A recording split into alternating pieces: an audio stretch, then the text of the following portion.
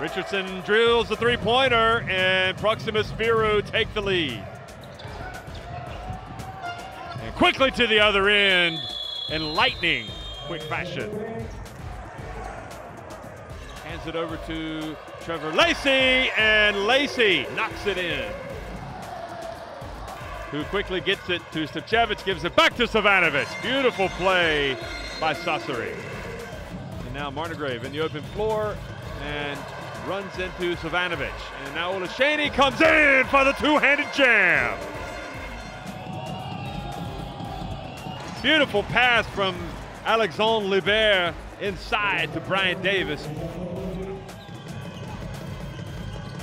Johnson Odom just reaches in, takes it away from him.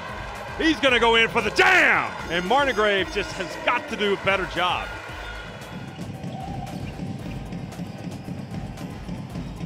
And Brandon Bowman makes another shot. Chevich. Savanovic, another three. Good! Boy, he is on fire. He's getting into player of the game territory.